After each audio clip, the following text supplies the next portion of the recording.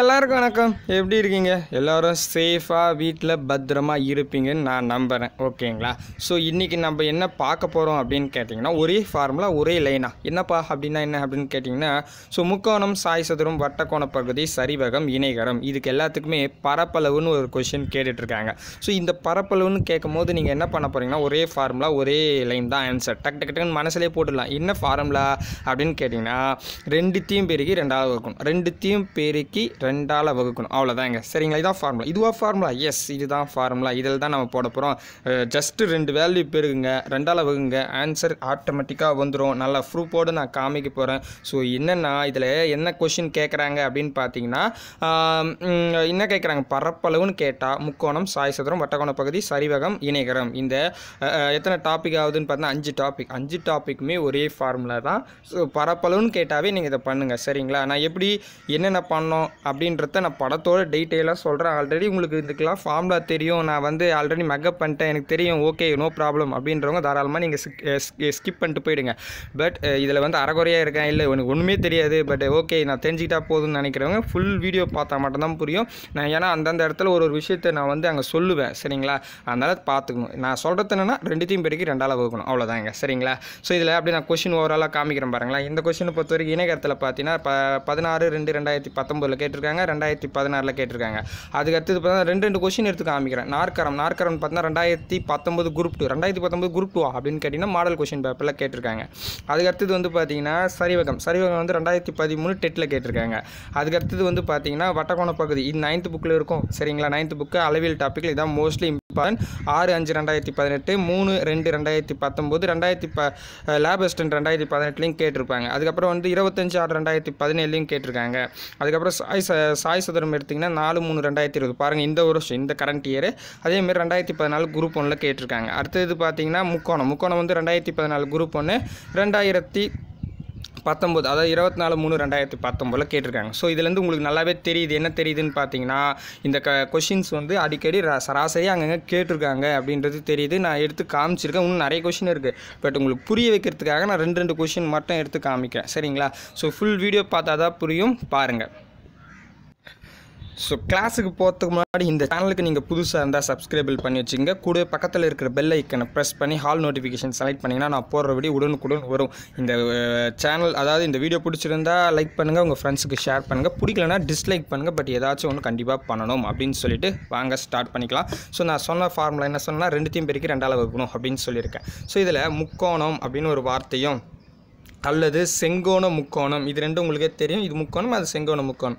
எது கேட்டாலும் பரவாயில்ல. அதோட பரப்பளவு கேட்டாங்கன்னா நீங்கள் என்ன பண்ண போகிறீங்கன்னா ரெண்டுத்தையும் பெருக்கி ரெண்டாவது வைக்கணும் அப்படின்னு ஞாபகம் வச்சுங்க சரிங்களா? சரி ஃபஸ்ட்டு கணக்கு பாருங்கள் முக்கோணத்துலேருந்து நான் ஸ்டார்ட் பண்ணிக்கிறேன். ஒவ்வொன்றா ரெண்டு ரெண்டு டைப் டைப் ரெண்டு ரெண்டு கொஷின்ஸ் தான் பார்க்க போகிறோம் சரிங்களா? சரி பார்த்துருவோம். இதில் என்ன கேட்குறாங்க அப்படின்னு கேட்டிங்கன்னா ஒரு முக்கோணத்தின் அடி ஒரு முக்கோணத்தின் அடிப்பக்கம் ஒம்பது சென்டிமீட்டர் அதன் உயரம் பன்னிரெண்டு சென்டிமீட்டர் பன்னிரெண்டு சென்டிமீட்டர் எனில் அதன் பரப்பளவை காண்க அப்படின்னு சொல்லிட்டு ரெண்டாயிரத்தி பதினாலு குரூப் ஃபோரில் கேட்டிருக்காங்க. சரிங்களா? சரி. என்ன சொன்னேன்? இதெல்லாம் நீங்கள் பார்க்காதீங்க சார் முக்கோணமா பரப்பு பரப்பு கேட்டிருக்காங்களா? ரெண்டுத்தையும் பெருக்கி ரெண்டால் வைக்கணும் அப்படி தான் ஓகேங்களா? அப்போது ஒன்பது ஒரு வேல்யூ இன்னொரு வேல்யூ பன்னெண்டு. ரெண்டுத்தையும் பெருக்கிட்டுனா ரெண்டால் வகுத்துருங்க. ஸோ அவ்வளோதான் ஆன்சர் இதை அடித்தேன் ஆறுன்னு வரும். ஆறுன்னு வருமா? ஆறு ஒம்பது என்ன? ஆறு ஒம்பது எனக்கு தெரியல ஐயோ ஆறு ஒம்பது அப்படின்னு நினைக்காதீங்க. பத்து ஒம்பது ப- பத்து ஆறு போடுங்க. பையன் ஆறு ஒம்பது கேட்டேன். இல்லைனா உங்களுக்கு தெரியலனா இதை பத்து இன்ட்டு ஆறுன்னு போடுங்க. பைத்தார் அறுபது.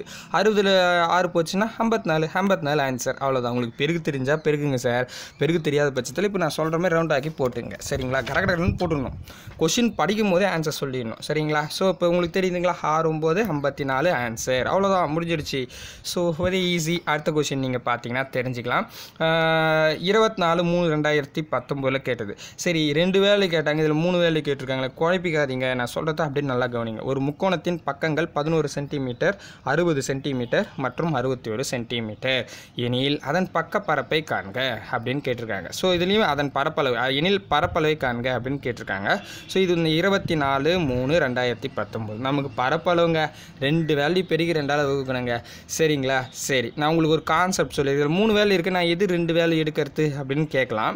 இது ஏ இது பி இது சி அப்படி எடுத்துக்குவோம். சரிங்களா? எப்போவுமே முக்கோணத்து முக்கோணம் அப்படின்னு தெரிஞ்சுக்கணும்னா ரெண்டு வேல்யூ கூட்டி ஒரு வேல்யூ கிடைக்கும். அந்த வேல்யூ மூணாவது வேல்யூவை விட பெருசாக இருக்கணும். இருந்தால் இது ஒரு முக்கோணம் அப்படின்றது அவங்க தேரி சொல்கிறாங்க பட் நீங்கள் தேரி தெரிஞ்சுக்க தேவையில்லை. மறுபடியும் சொல்கிறேன் ரெண்டு வேல்யூ கூட்டி ரெண்டு வேல்யூ கூட்டி ஒரு வேல்யூ கிடைக்கும். அந்த வேல்யூ மூணாவது வேல்யூவை விட பெருசாக இருக்கணும். இப்போ அறுபதையும் பதினொன்று கூட்டினா எழுபத்தொன்று எழுபத்தொன்னுன்றது அறுபத்தொன்னோட பெருசு. அப்போ இது ஒரு முக்கோணம். ஓகேங்களா? அப்போ நீங்கள் என்ன பண்ணிக்கலாம்னா நீங்கள் கேளுங்க கவனிங்க. இ- முதல் ரெண்டு நம்பரை எடுங்க. எடுத்து நீங்கள் செய்யலாம் ஆட்டோமேட்டிக்காக ஒரு வேலை இதில் அடிக்க முடியாமல் இருந்துச்சுன்னா இந்த மூணாவது வேலையை எடுத்துக்கலாம். வேணாம் குழப்பிக்காதீங்க. எப்போவுமே எப்போவுமே கணக்கு மாற்றி மாற்றலாம் கொடுக்க மாட்டாங்க. இது ஏ இது பி இது சி ஏவும் பியை மட்டும் எடுங்க ஹண்ட்ரட் பர்சன்டேஜ் கரெக்டாக வரும். ஓகேவா புரியுதா? நான் அதை சொல்கிறதுக்காக தேடி சொல்கிறதுக்காக அப்போது பதினொன்றையும் அறுபதையும் பெருக்க போகிறீங்க டிவைடட் பை ரெண்டு. அவ்வளோதான் ரெண்டு வேல்யூ பெருக்கி ரெண்டால் வகுக்கணும் இது வந்து அங்கே பக்கங்கள் கொடுத்தாலும் நீங்கள் ரெண்டு பக்கங்கள் எடுத்துக்கிட்டால் போதும். முதல் ரெண்டு பக்கம் எடுத்துங்க. இதில் பாதி முப்பதுங்க. ஸோ முப்பதை பதினொன்றால் பெருக்குனா என்ன வரும்? முந்நூற்றி முப்பது. அப்போ முந்நூற்றி முப்பது ஆன்சர் அவ்வளோதான் முடிஞ்சிடுச்சு. புரியுதா இப்போது ஓகே ஓகேவா? ஸோ இது வந்து இந்த தேரி எழுதி வச்சுங்க. ஏன்னா ஒரு முறை தேரி கேட்டிருக்கான் இதில் எது முக்கோணம் அல்ல அப்படின்னு சொல்லிட்டு இதே மாதிரி நாலு ஆப்ஷனில் கொடுத்துருந்தான் ஸோ அதனால் ஞாபகம் வச்சுங்க முதல் ரெண்டு வேல்யூ கூட்டி மூணாவது வேல்யூ விட பெருசாக இருக்கணும். அதுதான் நிபந்தனை. சரிங்களா? புக்கில் வந்து எனி எனி டூ நம்பர்ஸை கூட்டினா அந்த நம்பர் அதை விட பெருசாக இருக்கணும்னு சொல்லுவாங்க. பட் இது ஞாபகம் வச்சுங்க. இதுதான் கரெக்டாக இருக்கும் ஹண்ட்ரட் பர்சன்டேஜ் ஓகேவா? சரி அடுத்தது. சாய் சதுரம். என்னப்பா சாய் சதுரம்னா என்னப்பா அப்படின்னு கேட்டிங்கன்னா இது ஒரு முக்கோணம். ஓகேவா? இதுக்கு கீழே இன்னொரு முக்கோணத்தை சேர்த்தா இதான் சாய் சதுரம். ஓகேவா? ஸோ புரியுதுங்களா? ஸோ சாய் சதுரம்னா என்ன தான் என்னென்னா ஒரு முக்கோணம் இருக்குது இதை இன்னொரு முக்கோணத்தை ஜாயின் பண்ணால் ஒரு வடிவம் கிடைக்கும் பாருங்கள் அதுதான் சாய் சதுரம். ஓகேங்களா? ஸோ இது இது சாய் சதுரம். அப்போது இந்த சாய் சதுரத்தில் வந்து இப்படி தாங்க இருக்கும் நீங்கள் புக்கில் பாருங்கள் அதுக்கு தான் நான் இப்படி சொல்லிட்டேன். சரியா? ஸோ ரெண்டு முக்கோணத்தை ஜாயின் பண்ணி வச்சுருப்பாங்க. சரி சரிங்களா? சரி அப்போது இப்போ என்ன வருது? அப்படியே கவனிங்களேன். மூளை விட்டங்கள் இதில் வந்து மூளை விட்டங்கள் நேம் வரும். ஓகே நமக்கு தேவைப்பா. எனக்கு அதெல்லாம் தெரியாது சார் மூளை வெட்டலாம் ஞாபகம் வச்சுக்க முடியாது. அப்போ என்ன பண்ணணும்? ரெண்டுத்தையும் பெருக்கி ரெண்டால் வகுக்கணும். அவ்வளோதான் அப்போது மூளை விட்டங்கள் ஆறு சென்டிமீட்டர் எட்டு சென்டிமீட்டர் கொண்ட சாய் சதுரத்தின் பரப்பளவை காண்க அப்படின்னு சொல்லியிருக்காங்க. அப்போது பரப்புன்னு கே வந்துடுச்சு ஓகே அப்போ என்ன பண்ணோம்? ஆறு எட்டு டிவைடட் பை ரெண்டு அவ்வளோதான் சரிங்களா?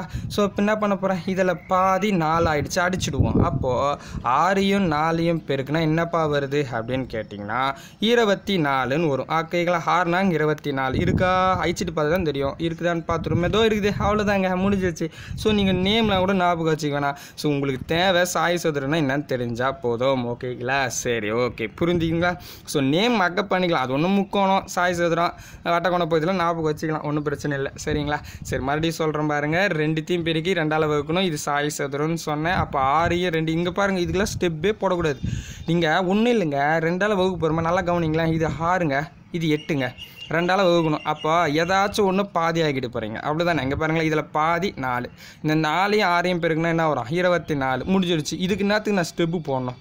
ஸ்டெப்பே கிடையாது. அங்கேயும் பெருக்க வேண்டியது தான் ஏதாச்சும் ஒன்று பாதி ஆகிட்டு இன்னொரு நம்பரோட பெருக்கிடுங்க ஏதாச்சும் ஒன்று பாதி ஆகிட்டு இன்னொரு நம்பரோட பெருகிங்க முடிஞ்சு போச்சு. இதுக்கு நேரத்துக்கு ரெண்டுத்தையும் பெருக்கி ரெண்டால் வகுக்கணும் அதுக்கு டைம் வேஸ்ட்டு தானே. ஓகேங்களா? அப்போ நீங்கள் கொஷின் படிக்கும்போதே சொல்லிடலாம். ஆறில் பாதி மூணுன்னு ஆக்கிங்க மூ எட்டு இருபத்தி நாலு இல்லை எட்டில் பாதி நாலுன்னு ஆக்கிங்க நான் நாலு ஆறு இருபத்தி நாலு முடிஞ்சிடுச்சு. எப்படி ஒன்று சொல்லிட்டு போங்களாம்பா. அவ்வளோதான் இது வந்து ரெண்டாயிரத்தி பதினாலு குரூப் ஒன்றில் கேட்டிருக்காங்க. என்ன கேட்டிருக்காங்க பாருங்களா ஒரு பூந்தோட்டம் சாய் சதுர வடிவில் உள்ளது. அதன் மூளைவிட்டங்கள் பதினெட்டு சென்டிமீட்டர் இருபத்தஞ்சு சென்டிமீட்டர் மீட்டர் சென்டிமீட்டரில் மீட்டர் இதுவும் இருபத்தஞ்சு மீட்டர் இனியில் பூந்தோட்டத்தின் பரப்பை காண்க. ஓகேப்பா அது நான் சொல்லிக்கப்பா. நான் என்ன பண்ண போகிறேன் இந்த பதினெட்டு எடுத்துக்க போகிறேன் இந்த இருபத்தஞ்சு எடுத்துக்க போகிறேன் இதை வந்து பாதியாக அதாவது ரெண்டுத்தையும் பெருக்கி ரெண்டால் வகுத்துட்டேன்.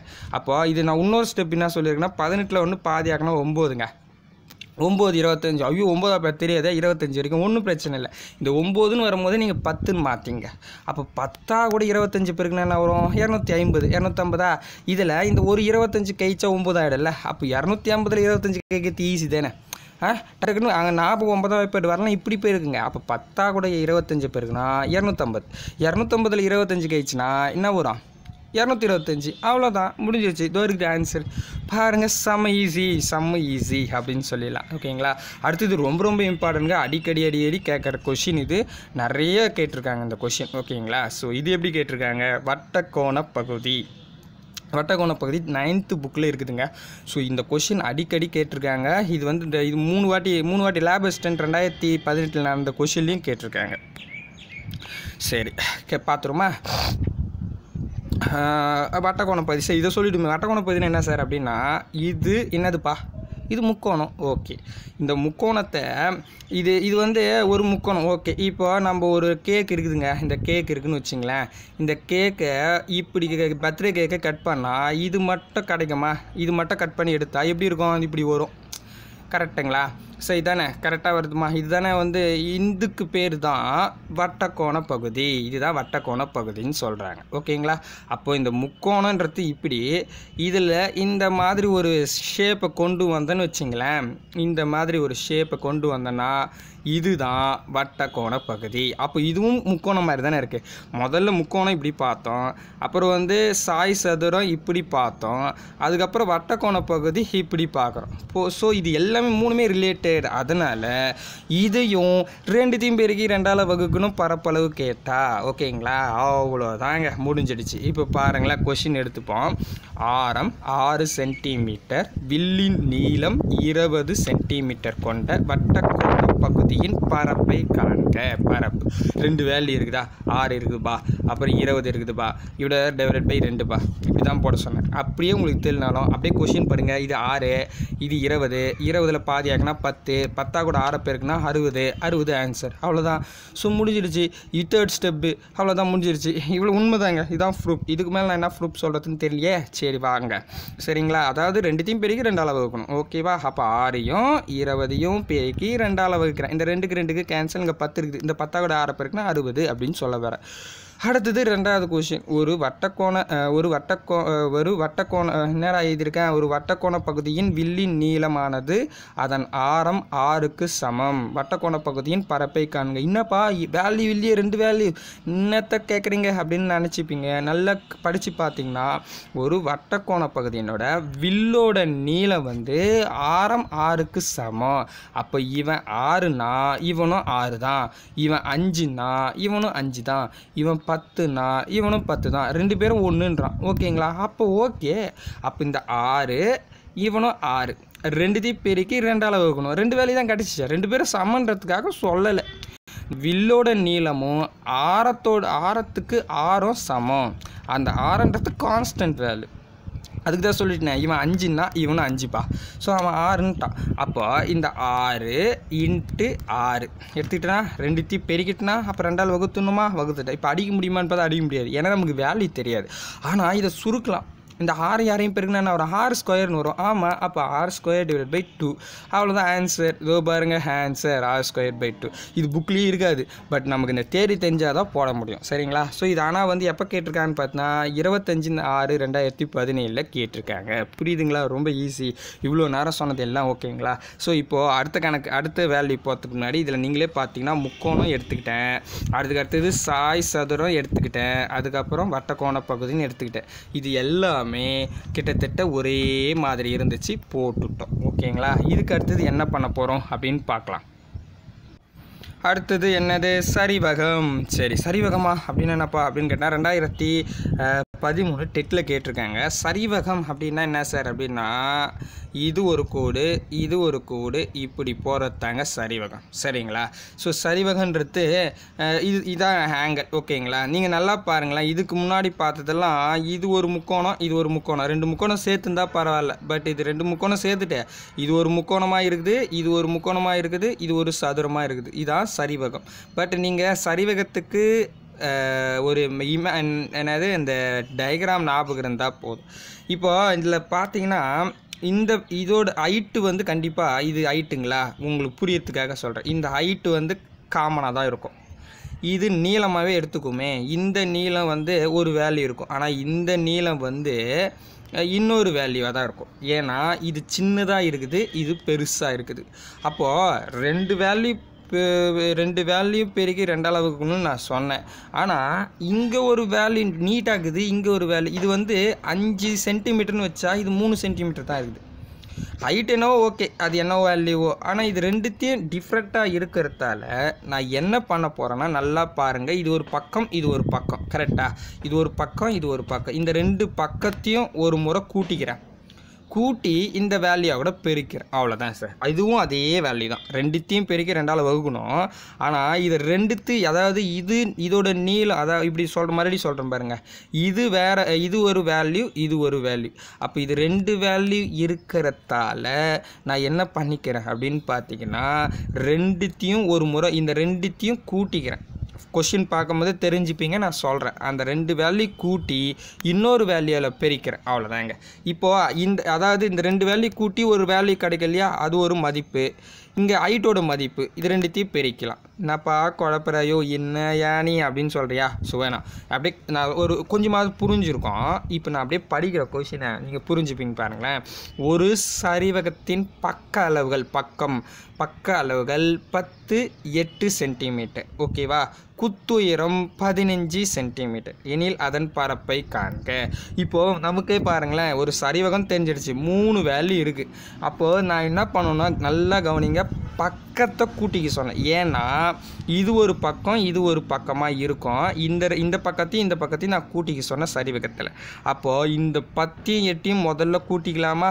பத்து எட்டையும் கூட்டினா என்ன வரும்? பதினெட்டுங்க. இந்த பதினெட்டை பதினஞ்சா கூட பெருக்கிங்க. அவ்வளோதாங்க. அப்போது இந்த பதினெட்டுன்னு வந்துருச்சா? இது ஒரு வேல்யூ இது கொஷின் படிக்கும் போது பக்காலவா அப்போ இந்த ரெண்டு பக்கத்தையும் கூட்டிங்க. கூட்டிக்கிட்டுமா? இது பதினெட்டு இது ஒரு வேல்யூ பதினஞ்சு இது ஒரு வேல்யூ ரெண்டுத்தையும் பெருக்கி ரெண்டாவது வகுத்துங்க அவ்வளோதாங்க முடிஞ்சிடுச்சு. புரியுதுங்களா?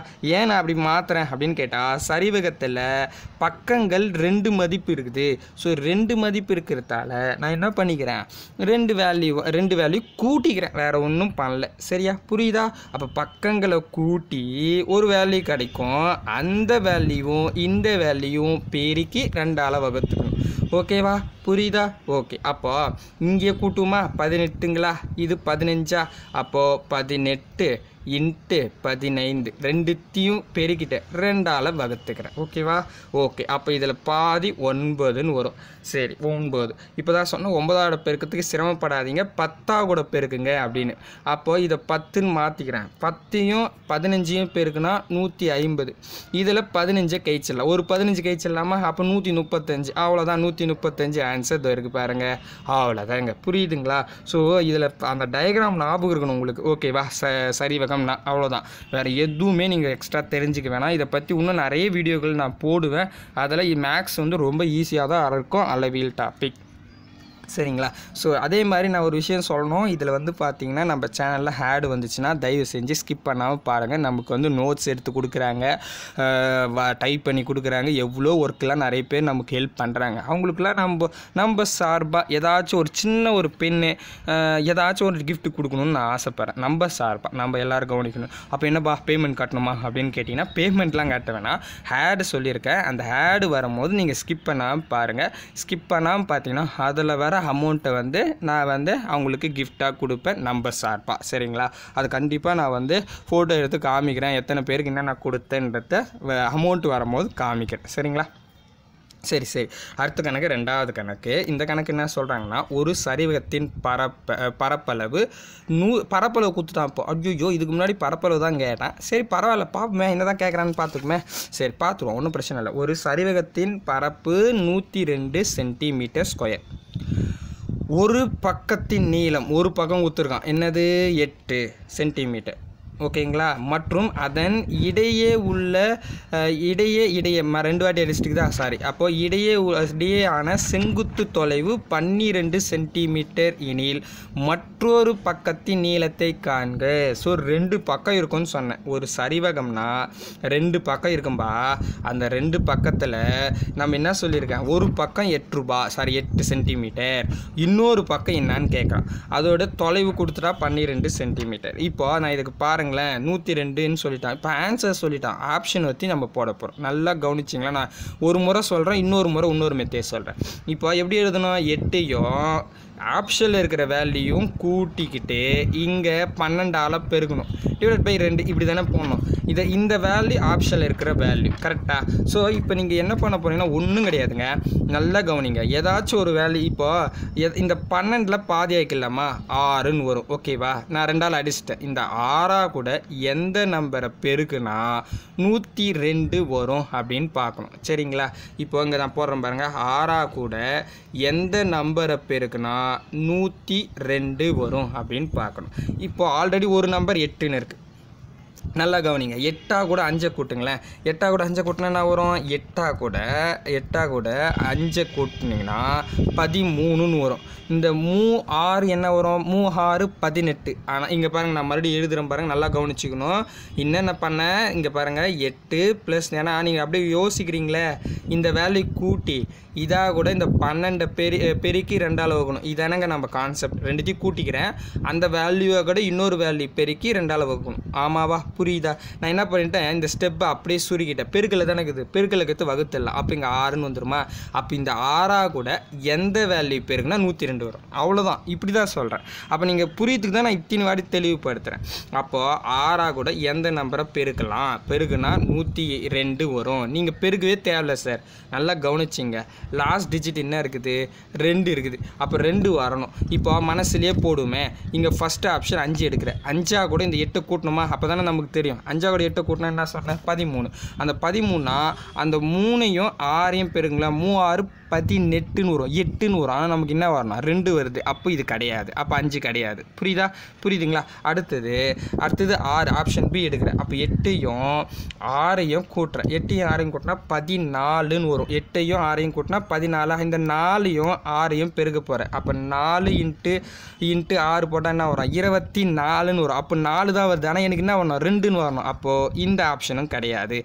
தெளிவாகுதா நான் சொல்கிறது நான் பாருங்கள் ஒவ்வொரு ஆப்ஷனாக பெருகவே இல்லை. மொத்தம் பெருகுத்தல்னா கூட பரவாயில்ல. அப்புறம் எட்டு எட்டுன்னு இருக்குது எட்டு எட்டையும் கூட்டுங்க. எட்டு எட்டுன்னா வரும்? எட்டு எட்டையும் கூட்டினா பதினாறுன்னு வரும். இங்கே ஆறுன்னு வருமா? இந்த ஆறு யாரையும் பெருக்குனா நான் வரும் ஆறு ஆறு முப்பத்தி ஆறு ஆறு ஆறு முப்பத்தாறுனா எனக்கு ரெண்டு வரணும். அப்போ அதுவும் கிடையாது. புரியுதுங்களா? ஸோ இதுவும் கிடையாது. அப்போ என்ன ஆப்ஷன் ஆப்ஷன் சி டி தான் ஒம்பது. நீங்கள் ஒன்றும் ஒம்பதாக கூட கூட்டி பாருங்களேன். ஒம்பதாக கூட கூட்டினா ஒம்பது எட்டையும் கூட்டுங்க. ஒம்போதையும் எட்டையும் கூட்டினீங்கன்னா பதினேழுன்னு வரும். ஏழு ஆறு என்னதுப்பா? ஏழு இன்ட்டு ஆறு ஏழு ஆறு நாற்பத்தி ரெண்டு அப்போ ரெண்டு வருதா? அப்போ இதான் ஆன்சர் பாருங்கள் நான் எந்த கொஷினும் போடல. இதுதான் ஆன்சர் இப்போ நான் போட்டு காமிக்கிட்டுமா? எட்டு ப்ளஸ் ஒம்பது இன்ட்டு பன்னெண்டு. ஓகேங்களா? நான் போட்டுட்டேன். இருந்தாலும் காமிக்கிறேன் உங்களுக்கு எப்படி நான் போட்டேன்னு. இப்போது எட்டையும் எட்டையும் ஒம்போதையும் கூட்ட போகிறேன் பதினேழுன்னு வரும். இது பதினேழுப்பா. ஓகேங்களா? இது ஆறு அடிச்சிட்டேன். இது ஆறுன்னு வருமா? இந்த பதினேழா கூட ஆறை பெருக்குனா நூற்றி ரெண்டுன்னு வந்துடுச்சு. அவ்வளோதான் சரியா? ஸோ எப்படி கேட்டால் என்னப்பா? நமக்கு தேவை ரெண்டுத்தையும் பெருக்கி ரெண்டால் வைக்கணும் ஸோ குழப்பெல்லாம் இல்லை. உங்களுக்கு ஆப்ஷன் வச்சு போகிறது எப்படின்னு சொன்னேன். ஓகேவா? புரியுதுங்களா? புரியுது சார் புரியுது சார் என்னவோ ஒன்று உங்களுக்கு புரியலன்னா மறுபடியும் இன்னொரு அடி போகிறாங்க தப்பே கிடையாது அப்படின்னு நான் சொல்கிறேன் ஓகேங்களா? அடுத்தது நாற்கரம். நாற்கரம் என்னன்னாப்பா முதல் நாற்கரம்னா என்ன? அதை சொல்லுங்களேன் அப்படின்னு பார்த்தீங்கன்னா நாற்கரம்னா ஒன்றும் கிடையாதுங்க. இப்போ பாருங்களேன் நான் ஒன்று வரைஞ்சி காமிக்கிட்டுமா நாற்கரம் அப்படின்றத? இப்போது இதை இது ஒரு ச முக்கோணம். ஓகேங்களா? அதுக்கு அடுத்தது இது ஒரு முக்கோணம். இது தாங்க நாற்கரம். இதோட வேல்யூ இவ இதோட வேல்யூ வெவ்வேறு இருக்கும். சரிங்களா? என்னப்பா முக்கோணத்தை தான் போட்டிருக்கேன் முக்கோணம் தான். ஆனால் இது செங்கோண முக்கோணம் மாதிரி போட்டிருக்கேன். செங்கோண முக்கோணம் இல்லை. இதுதான் நாற்கரம். ஓகேங்களா? நாற்கரத்தோட வடிவம். அப்போது இங்கே பார்த்தீங்கன்னா இதோட நீளம் வேறு இருக்குங்க. இதோட நீளம் வேறு இருக்குங்க. ஸோ வெவ்வேறு நீளங்கள் இருக்குது. அப்போது இதை எப்படி போடலாம்னா இதுலேயும் ரெண்டு நீளங்கள் வருது. நமக்கு ஒரே ஒரு நீளம் தான் ரெண்டுத்தையும் பெருக்கி ரெண்டால் வகுத்தலாம். ரெண்டு நீளம் இருக்கிறதால அந்த ரெண்டு நீளத்தையும் கூட்டி ரெண்டால் வகுத்துங்க. நீளம்ன்ற வார்த்தை கரெக்டா அப்படின்னு கேட்டிங்கன்னா அதெல்லாம் நமக்கு முக்கியம் கிடையாது. இங்கே வந்து நமக்கு இன்ட்டு முக்கியம் கிடையாது. ஆன்சர் அதுதான். ஓகேங்களா ஸோ கொஷினை படிச்சுன்னா தெரிஞ்சுக்கலாம். ம் சரி ஓகே போட்டுடலாமா? போயிடலாம். ஸோ நான் என்ன பண்ணுறேன் இந்த ரெண்டாவது கொஷின் பார்த்துட்டு மொதல் கொஷின் வரேன். ஒரு வீட்டு மனை ஆனது நாற்கர வடிவில் உள்ளது. அதன் மூளை விட்டங்களின் நீளம் நூறு மீட்டர். மூளை விட்டங்களின் எதிர் எதிர் பக்கங்கள் உள்ள முனைகள் இரண்டு இரண்டு மூளை மூளைவிட்ட மூளைவிட்டத்திலிருந்து ஐம்பது மீட்டர் தொலைவில் உள்ளது. ஐம்பது மீட்டர் தொலைவில் இருப்பின் மனையின் பரப்பை காண்க. நல்லா கவனிச்சிங்க நல்லா கவனிச்சிங்க. இதில் பாருங்கள் என்ன சொல்கிறாங்கன்னா இரண்டு மூளைவிட்டங்கள் இரண்டு மூளை விட்டங்கள் ஐம்பது மீட்டர். அப்போது ரெண்டு மூளை விட்டங்கள் நான் முதல்ல சொன்னேன் ரெண்டு வேல்யூ வேணுமா? இவங்களே சொல்லிட்டாங்க ரெண்டு மூளை விட்டத்தோட வேல்யூ ஐம்பது தான். அப்போ அந்த ஐம்பதுனா இதுக்கு ஐம்பதுனா இதுக்கு ஐம்பது தான். அப்போ ரெண்டு ஐம்பதா? ரெண்டுத்தையும் கூட்டிக்கணுமா? நல்லா கவனிக்கணும் ரெண்டு வேல்யூ இருக்குதேன்னு பார்க்கக்கூடாது. இங்கே இவங்களே சொல்லிட்டாங்க இரண்டு மூளை விட்டங்களின் இரண்டு மூளை விட்டங்கள்லாம் நம்ம பார்த்தோம் பாருங்கள் ஆறு வச்சு போட்டோம் ரெண்டுத்துக்கும் சமம்னா அதே மாதிரி ரெண்டுமே எப்படி சொல்லணும்னா இப்படி பாருங்களேன் உங்களுக்கு வேணால் நான் புரிகிற மாதிரி காமிச்சிருந்தேன். அந்த டயக்ராமே போட்டு காமிக்கிறேன். குழப்பிக்காதீங்க. உங்களுக்கு புரிய வைக்கிறதுக்கு தான் நான் இப்படி சொல்கிறேன் இதுவும் ஐம்பதான் தான். இருங்க கலர் மாற்றிடுவோம் இதுவும் ஐம்பது இதுவும் ஐம்பது அப்படின்னு சொல்கிறான் அப்போ ஒன்று மட்டும் சொன்னான்னா நீ ரெண்டு வேலைக்கு கூட்டிக்கணும். அவ்வளோதாங்க சரிங்களா? அப்போ ஐம்பது ஐம்பது கூட்டினா எவ்வளோ வரும்? நூறுன்னு வரும். நூறு. இன்னொரு வேலைன்னா இவனே சொல்லிட்டான் நூறு. ரெண்டு தீ பெருக்கி ரெண்டால் வகுத்துக்கிட்டேன். அப்போ இதை அடிச்சிங்கன்னா ஐம்பது. ஐம்பதாக கூட நூறு பேருக்குன்னா ஐயாயிரம். அவ்வளோதாங்க பாருங்கள் உங்களுக்கு புரியணும். அவ்வளோதான் புரியலன்னா நீங்கள் கமெண்ட் பாக்ஸில் கொடுங்க நான் சொல்கிறேன் சரிங்களா? புரியுதா? சரி. சரி. புரியுது தானே எஸ் எஸ் ஓகே அடுத்தது மேலே வருவோம். இந்த கொஷின் வருவோம். ஒரு இது வந்து ரெண்டாயிரத்தி பத்தொம்போது குரூப் டூ மாடலில் கேட்டிருக்கான். ஒரு நாற்கரத்தின் பரப்பு ஐநூற்றி இருபத்தி ஐந்து சதுர மீட்டர். அதன் இரு உச்சிகள் இரு உச்சிகளிலிருந்து மூளை விட்டங்களுக்கு வரையப்படும் செங்குத்து நீளம் பதினஞ்சு மீட்டர். இருபது மீட்டர். எனில் மூணு விட்டத்தின் நீளத்தை காண்க. என்னமா பண்ணியிருக்கான் பார். அப்போ ரெண்டு வேலையை கொடுத்துட்டான். செங்க இது வந்து ரெண்டுத்தையும் கூட்டிக்க போகிறீங்க இது ரெண்டுத்தையும் கூட்டி இதால் பகுத்து ரெண்டுத்தையும் கூட்டி இதால் பெருக்குனா எப்படி சொல்கிறது இது ரெண்டுத்தையும் கூட்டிட்டேன். இங்கே நீளத்தா கூட பெருக்கி ரெண்டால் வகுத்தா ஐநூற்றி இருபத்தஞ்சி வரணும். ஸோ இது நீங்கள் ஆப்ஷன் வச்சு தான் போட போகிறீங்க சரிங்களா? புரியுதுங்களா? அப்போ பதினஞ்சையும் இருபதையும் கூட்டினா என்ன வரும்? முப்பத்தி அஞ்சுன்னு வரும். முப்பத்தஞ்சா இன்னொரு வேல்யூ ஆப்ஷன் ஆப்ஷனில் இருக்குது டிவைடட் பை ரெண்டு. நல்லா கவனிங்களேன். உங்களுக்கு கணக்கே போட தெரியலனாலும் பரவாயில்ல. இதில் எப்படி ஆன்சர் சொல்கிறேன்னு பாருங்களேன். உங்களுக்கு ஐநூற்றி இருபத்தஞ்சுன்னு வருது. அப்போ இங்கே ஐநூற்றி இருபத்தஞ்சுப்பா. இதில் இப்போது முழு வேல்யூ வருது. முப்பத்தஞ்சு ரெண்டால் பெருக்க அடிக்க வகுக்க முடியாது வகுக்க முடியாது. வகுத்தா புள்ளியில் வரும். ஓகே கரெக்டாக அதே மாதிரி இங்கே இருபத்தஞ்சு இருக்குது இருபத்தஞ்சு ரெண்டால் வகுக்க முடியுமா? முடியாது. முப்பது வகுக்க முடியுமா? முடியும். இது என்னது? இது என்ன வேல்யூ பாருங்களேன். இது என்ன வேல்யூ நு முப்பத்தஞ்சுன்னு இருக்குங்க. இது முப்பத்தஞ்சு. நான் ஆயிடுச்சு காமிக்கிறேன். இது நாற்பத்தஞ்சுன்னு இருக்குது இது முப்பத்தஞ்சையும் அடிக்க முடியாது. நாற்பத்தஞ்சையும் அடிக்க முடியாது ரெண்டால். அப்போ முப்பது மட்டும்தானே அடிக்க முடியும். முப்பது மட்டும்தான் வகுக்குது. ஏன்னா நமக்கு முழு வேல்யூ வருது. அப்போது ஆன்சர் என்ன? கணக்கே போடாமல் ஆன்சர் தான் சொல்லிட்டேன். புரியுதுங்களா? இதை ரெண்டால் வகுக்க முடியாது. இதை ரெண்டால் வகுக்கலாம். இது முடியாது. இது முடியும். இது வகுக்க முடியாது. இது வகுக்க முடியாது. அப்போ இதான் ஆன்சர் எப்படி சார் சொல்கிறீங்க எனக்கு கொஞ்சம் புரியலிங்களே அப்படின்னு கேட்டால் இது ரெண்டுத்தையும் முதல்ல கூட்டணுமா? இது ரெண்டுத்தையும் கூட்டினா முப்பத்தி அஞ்சுன்னு வரும். இதாக கூட எதை பெரு பெருக்க போகிறீங்க இன்னொரு வேல்யூ நீளம் தானே கொடுத்துருக்கான். நீளம் தான் ஆப்ஷனில் இருக்குது அப்போ நீளத்தை ஏதோ ஒரு வேல்யூ இங்கே பெருக்கி இங்கே ரெண்டால் வகுக்கணும். ரெண்டுத்தையும் பெருக்கி ரெண்டால் வகுக்கணும். பெருக்கி வர ஆன்சர் ஐநூற்றி இருபத்தஞ்சுன்னு சொல்லிட்டான். ஐநூற்றி இருபத்தஞ்சு முது முழு நம்பர் இது இதை முதல் முப்பத்தஞ்சு ரெண்டால் வகுக்கவே முடியாது. அப்போது இருபத்தஞ்சு வகு முடியுமா? முடியாது. முப்பத்தஞ்சு வகு முடியுமா? முடியாது. நாற்பத்தஞ்சு வகு முடியுமா? முடியாது. ஏன்னா புள்ளி வச்சு நம்பர் வரும். புள்ளி வச்சு நம்பர் வந்தால் ஆன்சர் புள்ளி வச்சு நம்பர் தான் வரும். பட் புள்ளி வச்சு நம்பர் வரலையே. அப்போ முப்பது மட்டும்தான் வகுப்பு போகிறோம் அப்போ முப்பது போடுறேன். டெஸ்ட் பாருங்கள் நான் எதுவுமே பண்ணல முடிச்சிட்டேன். இருந்தாலும் உங்களுக்கு புரியறதுக்காக போடுறேன். அப்போ இதில் பாதி அஞ்சு எவ்வளோ? இதில் பாதி பதினஞ்சுங்க. பதினஞ்சா கூட பதினஞ்சா கூட முப்பத்தஞ்சு பேருக்குன்னா என்ன வருது வராங்க பதினஞ்சா கூட முப்பத்தஞ்சு பேருக்குங்கன்னா ஐநூற்றி இருபத்தஞ்சு ஆன்சர் அவ்வளோதாங்க ஃபினிஷ் புரியுதுங்களா? புரியுதுங்களா? எஸ் எஸ் புரியுது சார் ஓகேங்களா ஈஸியாக தானே இருக்குது ஸோ உங்களுக்கு புரியலனா கூட எழுதிடுங்க எழுதி நீங்கள் போடுங்க. கண்டிப்பாக புரியும் நான் சொல்கிறது ஓகேங்களா அடுத்தது லாஸ்ட்டாக இணைகரம் பார்க்கலாம். இணைகரம் வந்து பார்த்தா கொஞ்சம் டிஃப்ரெண்ட் ஒன்றும் இல்லைங்க. இணைகரம்னு ஒரு வேலை கேட்டாவே நீங்கள் ஆட்டோமேட்டிக்காக எப்படி போடலான்றதை நான் சொல்லிடுறேன் பாருங்கள் இணைகரம் வந்து கொஞ்சம் டிஃப்ரெண்ட் தாங்க. சரிங்களா? இது தாங்க ஒரு இணைகரம். இது இணைகரத்தை எப்படி ஞாபகம் வச்சுக்கலான்னா ஒரு இது இது என்னதுப்பா? ஒரு செங்கல் மாதிரி ஒரு வடிவத்தை போட்டிருக்கேன். இந்த செங்கல் வடிவம் என்ன செங்க செ- இது செங்கல் வடிவத்தில் இருந்தால் செவகம் ஓகேங்களா? இந்த செவகத்தை இந்த மேல் பரப்பில் நான் ஒரு ப்ரெஷர் தரேங்க. அழுத்தம் கொடுக்குறேன். இந்த பக்கம் நான் அழுத்தம் கொடுத்தா அது எப்படி வடிவம் மாறும்? அப்படி அழுத்தம் கொடுத்தா நீங்களே பாருங்களேன் இப்படி வடிவம் வருமா? கரெக்டாக இதை போடுறோம் பாருங்கள் இந்த மாதிரி. போர்டில் கொஞ்சம் நல்லா வராது பார்த்துங்க இப்படி தான் கிடக்கும். இதுதான் என்னது? இணைகரம் அப்படின்னு சொல்லுவாங்க. ஸோ இணைகரத்தை பொறுத்த வரைக்கும் ஓகேங்களா அப்படியே நான் அழிச்சிட்றேன் எல்லாத்தையும் அழிச்சிட்றேன். இணைகரம் இதுதான். இணைகரத்தை பொறுத்த வரைக்கும் இதோட வேல்யூவும் இதோட வேல்யூ சமமாக தான் இருக்கும். நான் கலர் மாற்றி காமிக்கிறேன். இதோட வேல்யூவும் இதோட வேல்யூ சமமாக தான் இருக்கும். இதோட வேல்யூ இதோட வேல்யூ சமமாக தான் இருக்கும். ஸோ நோ ப்ராப்ளம் அப்போது இதை இதனால் இது என்ன ஆகுது அப்படின்னு கேட்டிங்கன்னா நீங்கள் ஒன்றும் பண்ண தேவையில்லை. இந்த வேல்யூவும் இந்த வேல்யூவும் ஜஸ்ட்டு பெருக்குங்க ஆன்சர் அவ்வளோதாங்க இந்த வேல்யூவும் இந்த வேல்யூவும் ஜஸ்ட்டு பெருக்குனாவே போதும் அப்படின்னு நான் சொல்ல வரேன். புரியுதுங்களா? ஏன் சார்? ரெண்டால் வகுக்கலையே அப்படின்னு கேட்டிங்கன்னா போன இது ப்ராப்ளத்தில் இப்போ ஒரு முக்கோணம்னு எடுக்கிறேன்னு வச்சுங்களேன் முக்கோணத்தில் இது ஒரு வேல்யூ இது ஒரு வேல்யூ இது ஒரு வேல்யூ கொடுக்குறான். அப்போ நான் ரெண்டு வேல்யூ எடுக்கிறேன் இந்த வேல்யூ மிஸ் ஆகுதுன்னு ரெண்டால் வகுத்துறேன் ஆனால் இங்கே இருக்கிற வேல்யூ இங்கே இருக்கிற வேல்யூ சமம். அப்போ ரெண்டு வே எல்லா வேல்யூயும் சமமாக இருக்கிறதால நீங்கள் ஜஸ்ட்டு ரெண்டால் பிரிக்கலாம். இப்போது இது கூட வச்சிங்களா இணைகரத்தை பொறுத்த வரைக்கும் நம்ம ஆல் சைடு சமமாக கூட வச்சுக்கலாம் தப்பே கிடையாது. இப்படி வந்தாலும் உங்களுக்கு கரெக்டாக தான் வரும் ஓகேங்களா? ஸோ அப்போது இணைகரத்தை பொறுத்த வரைக்கும் நீங்கள் என்ன பண்ணணும்னா ரெண்டுத்தையும் பெருகுனாவே போதும் ரெண்டால் வகுக்க வேண்டாம் அப்படின்னு நான் சொல்கிறேன் புரியுதா? புரியுதுங்களா? ஸோ இணைகரம் டயக்ராம் நான் அதுதான் சொன்னேன் டயக்ராம் ஞாபகம் தான் போதும். சரி இப்போது ஒரு இணைகரத்தின் அடி உயரம் ஒம்பது சென்டிமீட்டர் குத்துயரம் ஐந்து சென்டிமீட்டர். எனில் இணைகரத்தின் பரப்பளவை காண்க. பதினாறு ரெண்டு ரெண்டாயிரத்தி பத்தொம்போதில் கேட்டிருக்காங்க. அப்போ இந்த ஒம்போதையும் ஆறையும் ஜஸ்ட்டு பெருங்க ஒம்போதையும் ஆறையும் பெருக்குங்க ஐம்பத்தி நாலு. ஐம்பத்தி நாலு இருக்குதா? எங்கே ஐம்பத்தி நாலு இல்லையே? எங்கெங்கே பெருகிறடே மாற்றி மாற்றி பெருகாது அப்படின்னு சொல்கிறீங்களா ஒம்பது அஞ்சு தானேங்க சார். ஒம்பது அஞ்சு நான் ஆறுன்னு சொல்லிட்டேன். இந்த ஒம்போதையும் அஞ்சு தானே ஆறுன்னு சொல்லிட்டேன் சார்.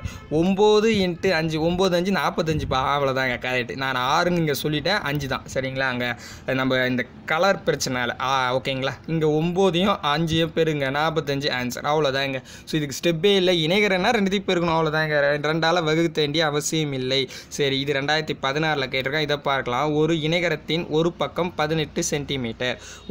ஒரு பக்கத்திலிருந்து அடுத்த பக்கத்திற்கான தொலைவு எட்டு சென்டிமீட்டர். இனி இணைகரத்தின் பரப்பளவை காண்க. ஒன்றும் இல்லைங்க. இந்த எட்டையும் பதினெட்டையும் ஒரே முறை பெருக்குங்க போதும். ஸோ நீங்கள் இதில் பாதி ஆக்க வேண்டிய வேலை இல்லை. அப்போ எட்டையும் பதினெட்டையும் பெருக்குனா என்னது? நூற்றி நாற்பத்தி நாலு ஆன்சர் நூற்றி நாற்பத்தி நாலு அவ்வளோதான். முடிஞ்சிருச்சு. ஸோ புரியுதுங்களா? ஸோ இது மட்டும்தான். இணைகரம் மட்டும்தான் என்ன பண்ணுறேன் ரெண்டுத்தையும் பெருக்க சொல்லியிருக்கேன் மீதி எல்லாமே என்ன பண்ண சொல்கிறேன் ரெண்டுத்தையும் பெருக்கி ரெண்டாவது வகுக்கணும்னு சொல்லியிருக்கேன். ஸோ கொஞ்சம் குழப்பமாக இருக்கிற மாதிரி இருந்தால் தயவு செஞ்சு மறுபடியும் பாருங்கள் ரொம்ப ஈஸி அடிக்கடி கேட்கக்கூடிய கொஷின் ரொம்ப ஈஸியாக சால்வ் பண்ணிட்டு போய்க்கிட்டே இருக்கலாம். கண்டிப்பாக உங்களுக்கு புரியும்னு நான் நம்புகிறேன் ஸோ புரியலனா கமெண்ட் பாக்ஸில் கொடுங்க. புரிஞ்சிச்சுன்னா சொல்லுங்கள் நம்ம அடுத்த கட்டத்துக்கு போயிடலாம். இதோட அடுத்த கட்டத்துக்கும் இதே மாதிரி ஷார்ட்கட்லாம் இருக்குது ஸோ நீங்கள் புரிஞ்சுக்க ட்ரை பண்ணுங்கள் அப்படின்னு சொல்லிட்டு. ஸோ இன்னொரு நல்ல வீடியோவில் சந்திக்கலாம். பாய் பிரதர் அண்ட் சிஸ்டர்